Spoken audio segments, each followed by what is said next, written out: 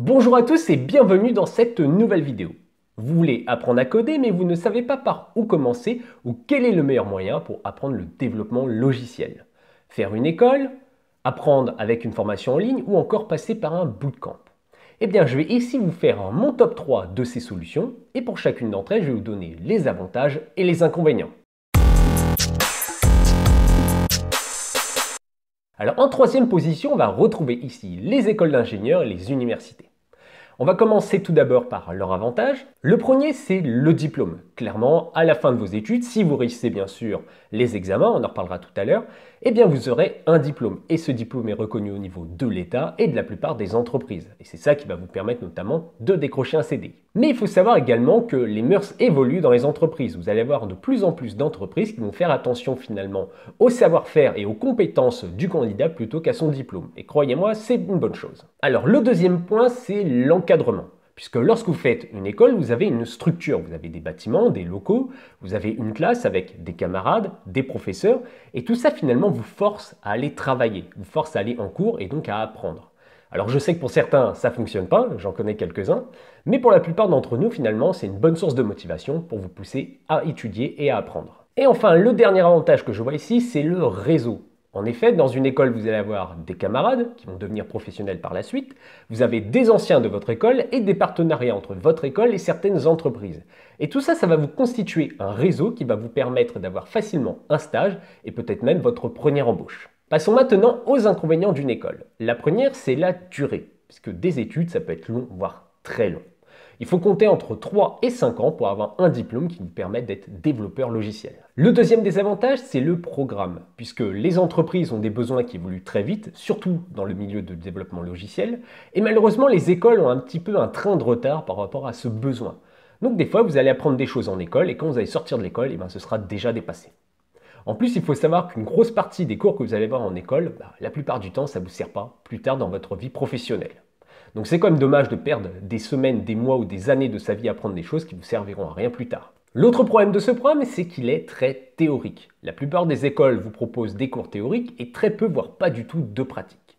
Mais le problème, c'est que c'est exactement l'inverse de ce qu'il faut pour apprendre efficacement un nouveau langage de programmation, par exemple. Pour apprendre à coder, il faut beaucoup pratiquer. Comme le dit Richard Branson, le meilleur moyen d'apprendre, c'est de faire. Donc ici, n'oubliez pas, il faut beaucoup pratiquer si vous souhaitez apprendre, par exemple, un langage de programmation. Le prochain inconvénient concerne le rythme. En effet, dans une école, vous avez un rythme qui est imposé pour tous les élèves et qui est uniforme. Et bien sûr, il ne va pas correspondre à votre rythme à vous. Et c'est ça l'un des gros problèmes. Vous êtes obligé pendant quelques années à toujours aller en cours aux heures et dates fixées, et finalement vous adapter au rythme de l'école. Et ce n'est pas l'école qui va s'adapter à votre rythme. Et ça, ça peut être un frein dans l'apprentissage de beaucoup, et un certain qui vont abandonner à cause de ça. Un autre point négatif que je vois ici, c'est les examens. Alors souvent, les examens, c'est une source de stress, et en plus, c'est ce qui va vous permettre d'avoir le diplôme ou non. Malheureusement, le jour de l'examen, il suffit que vous ne soyez pas en forme ou que vous n'ayez pas de chance sur le sujet, bah, vous pouvez ne pas avoir votre diplôme alors que derrière, finalement, vous avez les compétences. Donc je trouve ça un petit peu dommage. Surtout que, comme on l'a vu tout à l'heure, la plupart des cours que vous allez voir en école bah, vont ne pas du tout vous servir plus tard dans votre vie professionnelle. Et finalement, vous allez avoir ce diplôme par rapport à des cours qui vous serviront à rien. Donc ça, je trouve ça vraiment dommage. Et le dernier point qui me chagrine sur ces examens, c'est l'examen en lui-même. Puisque le jour de l'examen, vous allez avoir juste une feuille et un stylo, et il faudra recracher par cœur ce que vous avez appris pendant les cours. Et finalement, quand vous serez développeur, bien sûr, on ne vous demandera pas ça. Vous aurez un ordinateur avec un accès Internet. Ce qu'il faut et ce qui est important pour un développeur, c'est de savoir retrouver l'information qui lui manque pour avancer, ne pas être bloqué et pas d'apprendre par cœur bêtement les choses. Le prochain inconvénient ici concerne la géographie, puisque vous le savez sûrement, il n'y a pas d'école d'informatique dans toutes les villes et tous les villages. Donc ça veut dire que vous allez devoir déménager et prendre notamment un studio pour suivre vos études. Alors bien sûr, ces écoles vont être dans une ville très étudiante et les loyers vont être assez élevés. Donc vous allez devoir prendre un appartement qui va vous coûter très cher. Donc ça déjà, ça peut être un gros frein pour la plupart des personnes. Et pour continuer sur le sujet de l'argent, eh il y a le prix des écoles également comme dernier sujet que je voulais aborder avec vous, qui est élevé, voire très élevé. Alors pour les universités, c'est vrai que c'est un petit peu moins cher. Il faut compter quelques centaines d'euros, environ 500 ou 600 euros par an. Alors que pour les écoles d'ingénieurs, en tout cas pour les très bonnes écoles d'ingénieurs, ça peut aller de quelques milliers, voire quelques dizaines de milliers d'euros. Ce qui pousse certains étudiants à faire des gros crédits pour pouvoir faire leurs études. Le problème, c'est qu'il va falloir le rembourser, ce crédit, et souvent donc ils passent les premières années de leur vie professionnelle à rembourser ce crédit. Et encore, ça c'est dans le meilleur des cas où ils ont réussi leur diplôme. S'ils loupent leur diplôme et qu'ils doivent abandonner l'école, imaginez les dégâts que ça peut engendrer. Bon, je pense que vous l'aurez compris, je ne suis pas un gros fan du système scolaire habituel. On va tout de suite passer au numéro 2 de notre top. En deuxième place, j'ai positionné le bootcamp. Alors pour ceux qui ne savent pas ce que c'est un bootcamp, c'est simplement une formation accélérée en petit comité. Alors quels sont les avantages du bootcamp? Bah, Tout d'abord sa rapidité. Il faut compter entre quelques semaines et quelques mois pour réaliser une formation complète. Le deuxième avantage, c'est le fait que ce soit très concret. Ici, vous allez cibler un thème, par exemple le développement web, et vous allez voir que des cours sur ce thème. Et pendant les cours, vous allez avoir beaucoup de TP et de pratiques. Donc c'est vraiment pas mal pour apprendre notamment des nouveaux langages de programmation. Et le dernier avantage que je vois ici, c'est l'encadrement. Comme pour une école, ici, vous allez vous retrouver dans une classe, certes avec un petit comité, mais ça restera une classe avec un prof. Et donc ça va vous motiver, vous pousser à travailler et à vous améliorer. Alors maintenant, les inconvénients. Tout d'abord, il y a la géographie. Comme pour une école d'ingénieur ou l'université, il faut vous déplacer.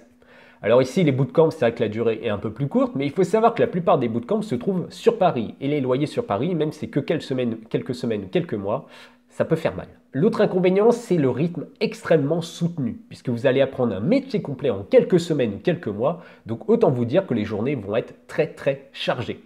Vous aurez juste à peine le temps de dormir entre deux jours de formation. Vu que les journées vont être intenses, vous allez être épuisé physiquement et moralement.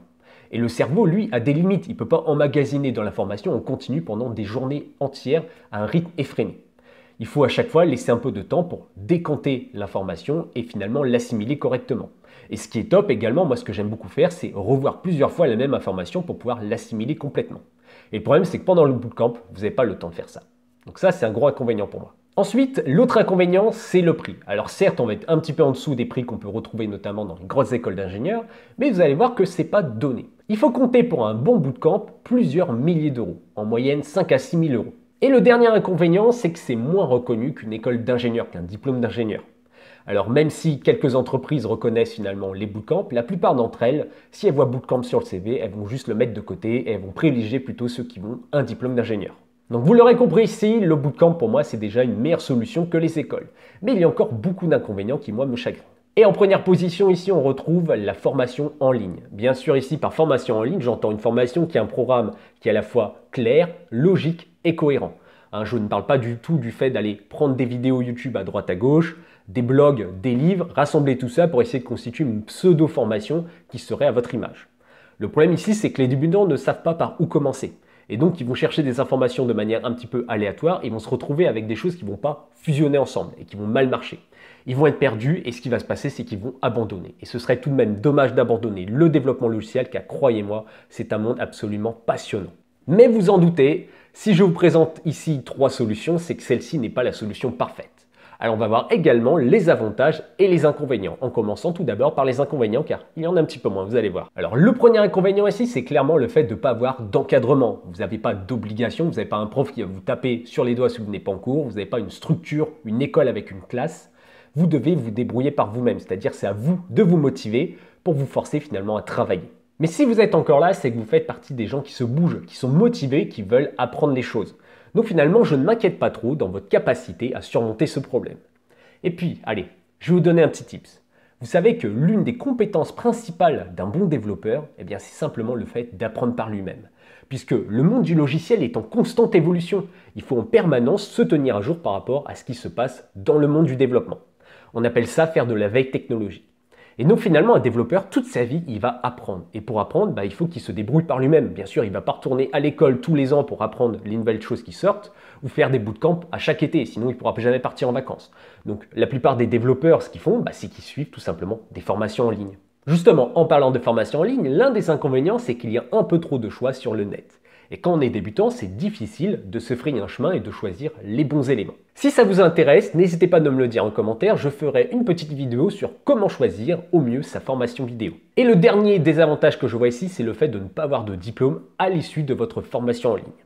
Mais comme je vous l'ai déjà dit, de plus en plus, les entreprises évoluent au niveau de leur mentalité, c'est une bonne chose. Avant, ils faisaient vraiment que confiance au diplôme, mais de plus en plus, ils font maintenant confiance à la personne elle-même, à ses compétences et à son expérience. Et pour moi, c'est une valeur beaucoup plus importante quand on sélectionne un candidat que finalement son diplôme. Moi, je connais des gens qui viennent de la même école, et entre les deux personnes, vous allez voir vraiment un gros delta. Vous allez voir soit des personnes qui sont très bonnes, ou des personnes qui sont très mauvaises. Et ça, ça va pas dépendre finalement de leur diplôme. Alors passons sans plus tarder maintenant aux avantages car vous allez voir, il y en a déjà beaucoup plus. Tout d'abord, il y a le fait que les formations en ligne sont concrètes et pratiques. Il faut savoir que la plupart de ces formations sont faites par des professionnels, par des développeurs pros. Donc eux, ils savent finalement quel est le besoin du marché et ils savent finalement comment apprendre un nouveau langage puisque c'est ce qu'ils font au quotidien, comme je viens de vous le dire juste avant. Eh bien, ces personnes vont faire des formations et ces formations vont être très pratiques, vous verrez. Et en plus, la petite cerise sur le gâteau, c'est que la plupart de ces formateurs eh continuent à travailler à côté des formations qu'ils font. Par exemple, c'est mon cas, je suis développeur architecte logiciel dans une entreprise, à côté des formations et des vidéos que je vous fais comme ici. Donc finalement, j'ai toujours un pied à terre, un pied sur le terrain et je vois ce qui est concrètement fait sur le marché de l'emploi, du développement logiciel. Et je sais quels sont les langages finalement qui sont en ce moment à la mode et qui sont nécessaires dans les entreprises et quels sont les outils et les méthodes à apprendre pour bien travailler en entreprise. L'autre avantage, c'est clairement le rythme puisque les formations en ligne eh s'adaptent parfaitement à votre rythme. C'est à vous de choisir quand vous voulez regarder les vidéos, quand vous voulez vous former, et c'est à vous aussi de choisir le rythme de la vidéo. Vous pouvez accélérer, ralentir la vidéo, vous pouvez sauter les chapitres que vous maîtrisez déjà, vous pouvez revenir en arrière sur un chapitre que vous n'avez pas compris. Alors qu'en cours, ça va être difficile de faire ça. Vous ne pouvez pas accélérer le prof, le ralentir. Vous pouvez lui demander de répéter une fois ce que vous n'avez pas compris, mais au bout d'un moment, il va arrêter de répéter, il en aura assez, et vos collègues aussi.